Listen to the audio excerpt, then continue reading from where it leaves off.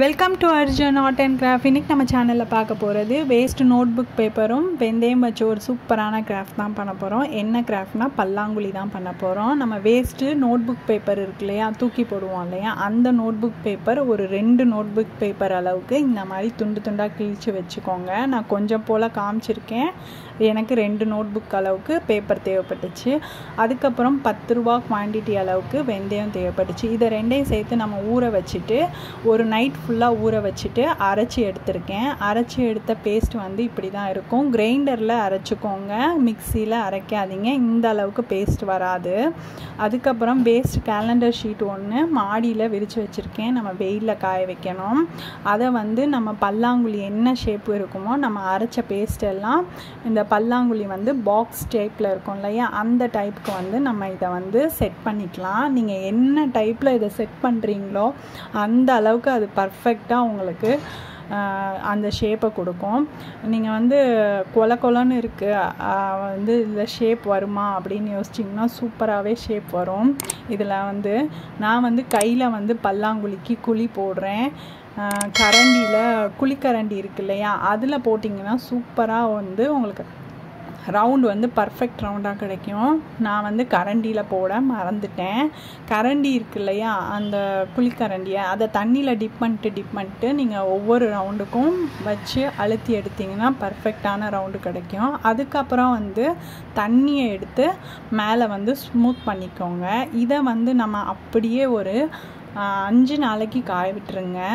ரெண்டு பக்கமும் திருப்பி வச்சு அஞ்சு நாளைக்கு காய விட்டுருங்க. காய வச்சதுக்கப்புறம் சூப்பராக நமக்கு ஒரு பல்லாங்குழி கிடைக்கும். நம்ம வீட்டிலே ஈஸியாக பல்லாங்குழி பண்ணலாம்.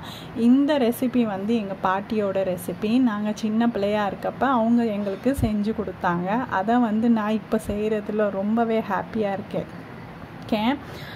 இது வந்து நாங்கள் அப்போ லீவில் ஊருக்கு போவோம் இல்லையா? அப்போ வந்து நாங்கள் பக்கத்து வீட்டிலே போய் விளையாண்டுட்ருப்போம் அதுக்காக அவங்க என்ன பண்ணாங்க? நான் உங்களுக்கு பண்ணி தரேன் அப்படின்னு சொல்லிட்டு ஒரு பேப்பரும் ஒரு கார்ட்போர்ட் பேப்பரும் இதெல்லாம் சேர்த்து அவங்க அரைச்சி அவங்க கையிலே ஆட்டி எங்களுக்கு பல்லாங்குழி பண்ணி கொடுத்தாங்க. நான் வந்து இன்றைக்கி கிரைண்டரில் தான் பண்ணினேன். கிரைண்டரில் அரைச்சி காஞ்சதுக்கப்புறம் இப்படி தான் இருக்கும். காஞ்சதுக்கப்புறம் நான் வந்து கோல்டு கலர் எடுத்திருக்கேன்.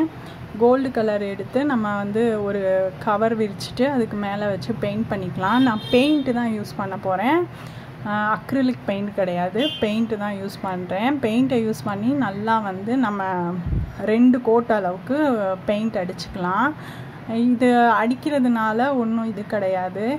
நாங்கள் வந்து இந்த பல்லாங்குழியை அப்படியே தான் யூஸ் பண்ணோம். இந்த காஞ்சதோட. நம்ம காஞ்சது வந்து உடையவே உடையாது. என்னதான் ஆனாலும் உடையாது. அந்த அளவுக்கு நம்ம கனமாகவே பல்லாங்குழி பண்ணிடலாம் நான் ரெண்டு கோட் அளவுக்கு இந்த பெயிண்ட்டை வந்து அடிச்சுக்க போகிறேன் அடித்ததுக்கப்புறம் ஒரு கோட் அளவுக்கு நீங்கள் வந்து வார்னிஷ் அடிச்சுக்கோங்க மேலே. அப்போ தான் வந்து லாங் லாஸ்டிங்காக இருக்கும். நான் அடித்து முடிச்சுட்டு காட்டுறேன் உங்களுக்கு.